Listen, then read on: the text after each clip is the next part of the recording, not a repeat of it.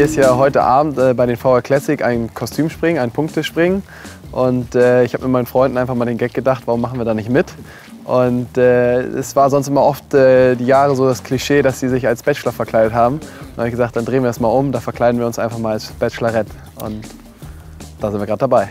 Ich ziehe gleich äh, noch ein Kleid an mit einer Leggings und das wird noch ganz sportlich. Und äh, ich habe drei Freunde, die mit mir da reingehen. Einen überreiche ich dann die Rose als Bachelorette und dann laufen wir Händchen halten raus, weil wir natürlich verliebt sind, ab in die Flitterwochen.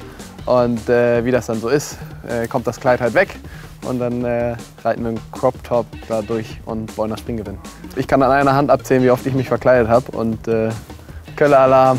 Oder wie heißt das?